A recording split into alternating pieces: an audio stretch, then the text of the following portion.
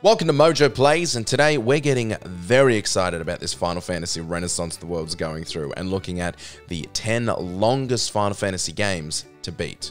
Want something to sink some time into? Here are some recommendations. Before we continue, we publish content all week long, so be sure to subscribe and ring the bell to get notified of our latest videos. Final Fantasy VI.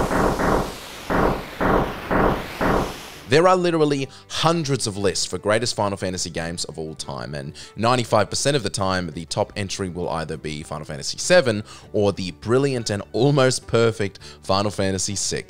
Final Fantasy VI is not only my personal favorite Final Fantasy game of all time, but my favorite RPG of all time. With an average play time of around 35 hours, Final Fantasy VI takes players on an epic journey through the eyes of 14 playable characters, making it the Final Fantasy entry with the most playable characters. But that's a list for another day. Seriously, I'm writing it down now.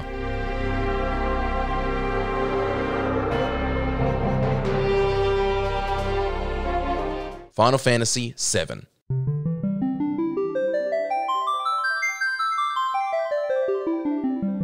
I'm very sorry, but this is not the last time Final Fantasy VII will appear on this list.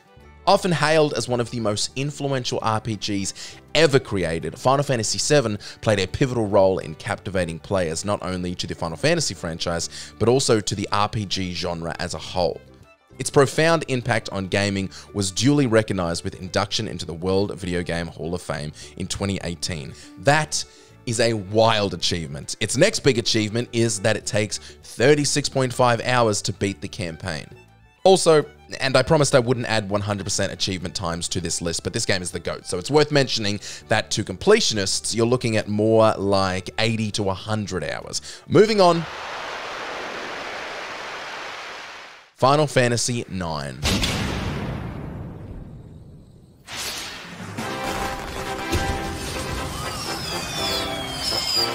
Following explorations into steampunk, modern, and futuristic realms, Square opted for something a little different with Final Fantasy IX, returning to a medieval setting as seen in their earlier entries. This choice proved fruitful, resulting in one of the finest mainline Final Fantasy titles to date. I mean, it's not Final Fantasy VI good, but it's still pretty damn good. Please don't hit me. It's worth pointing out that Final Fantasy IX is Final Fantasy creator Hironobu Sakaguchi's personal favorite among the mainline series, and that's a trophy worth putting on your mantle. Final Fantasy VIII.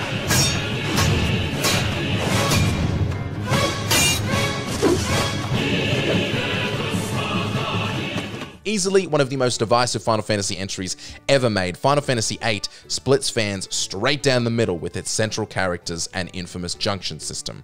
Love it or hate it, 40 hours of epic Final Fantasy action is nothing to scoff at.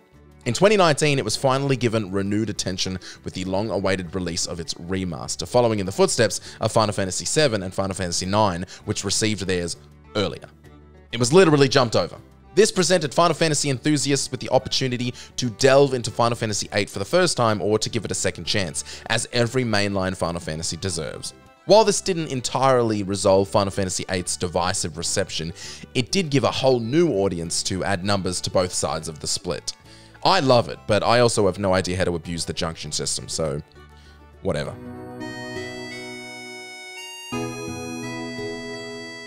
Final Fantasy VII Rebirth. Bring me the black materia. For number six, we've got our most recent Final Fantasy installment, meaning it's not only going to give you some sink time, but it's also readily available for PlayStation players. For the first installment of the Final Fantasy VII Remake, adapting the first 5 to 10 hours of the original PS1 entry into its own standalone title required clever writing and great ambition, but Square Enix absolutely nailed it by creating an epic game that stood at around 33 hours. Now, the second entry, which brings us into the beautiful open world of Final Fantasy VII, stands at an expected 40 to 45 epic hours. Final Fantasy X. Story. Similar to Final Fantasy VII, Final Fantasy X acted as an excellent gateway into the Final Fantasy universe, being the first mainline installment to debut on the immensely popular PlayStation 2 platform. I, for one, got so many friends into Final Fantasy back in 2001 with this entry alone. Despite its linear nature, Final Fantasy X offers ample opportunities for exploration and discovery within the world of Spira. Notably, players can invest countless hours assembling a formidable team and competing in championships within Final Fantasy X's engaging Blitzball mode.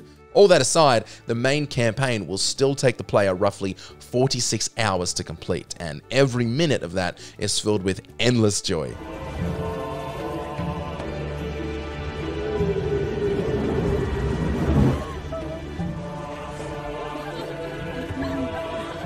Final Fantasy 13.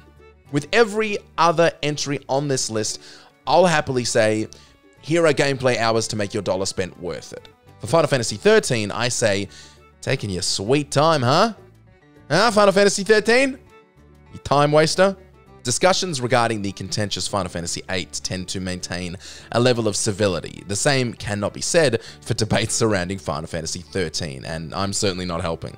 With an average playtime of 48 hours, one of Final Fantasy XIII's primary criticisms revolve around its pacing. The game takes nearly the entirety of its first half to thoroughly, and I mean thoroughly, explain its mechanics. We get it. It's not that hard. Thanks, Dad.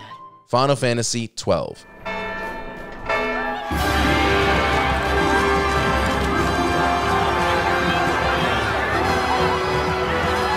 Imagine making a game that was so long that it was re-released with a fast-forward feature.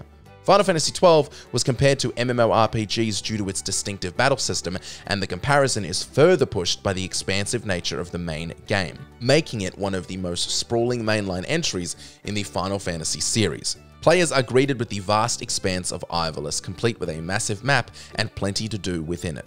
The later released Final Fantasy XII The Zodiac Age was given a fast forward feature that brought the playtime closer to about 40 hours. Final Fantasy XI. Square Enix announcement of the franchise's 11th mainline entry caught many longtime fans off guard as it marked a departure into the realm of MMORPGs. Even today, there are those within the Final Fantasy community who question the legitimacy of the MMORPG entries as true representatives of the series. Nonetheless, Final Fantasy XI proved to be remarkably successful, receiving five expansions, with the most recent being in 2015. Its booming success paved the way for the development of its MMORPG successor, Final Fantasy XIV.